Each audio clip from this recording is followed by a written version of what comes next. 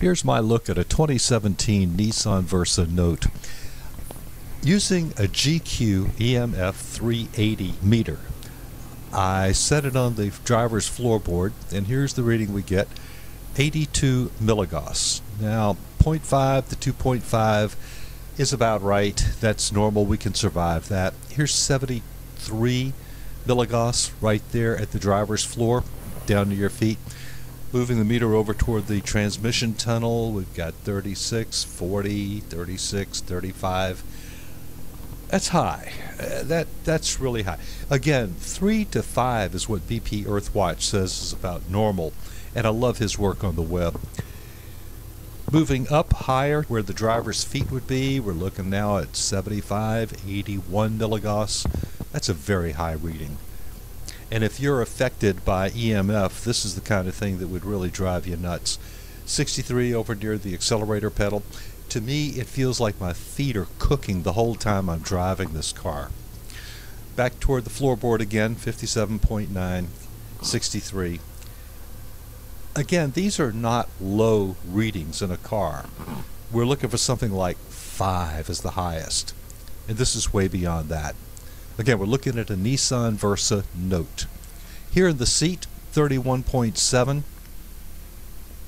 Moving up the seat a little bit, this is in the seat back, 7.1 milligauss there. And then up near the driver's head, it drops off a lot, 0.2. That's fine. That's perfectly safe. If only you could just stay there and have your feet there too. This is the fuse panel, where I saw a reading initially of about 70 and if you back away a little bit, you're down to 50, 46, 60 milligauss. The fuse panel's on the left side, right inside the door. Now, what was really surprising was taking the meter down to the rocker panel where the door closes, where you the driver would enter the car. We're looking at 77, 80 milligauss right there. Trouble is, that's where you sit. This is with the engine idling, by the way. No idea if you're going faster if this would be higher. It probably would because steel belted tires also generate a bit of a field around them unless you degauss them. Let's look at the passenger area. Now, if you could get a steering wheel extension and also extend the accelerator and brake, here's where you want to sit. That's 2.6 or so on the floorboard. This is the passenger seat right behind the driver. 0.4, that's wonderful. If only, you know, if only. But that's not how it works. Passenger side, to the right of the driver. On the floor, 6.9, 8 milligauss. It's high, but it's way better than on the other side of the car. Up on the floorboard, it increases. We're up to like 25 milligauss there.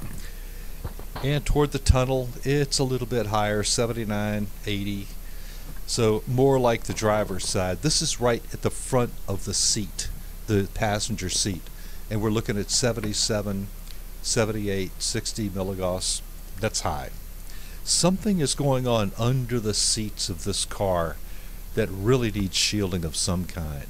On the seat, 17, 19. Still not a safe environment even for a passenger. And then looking up on the seat back further, 3.9.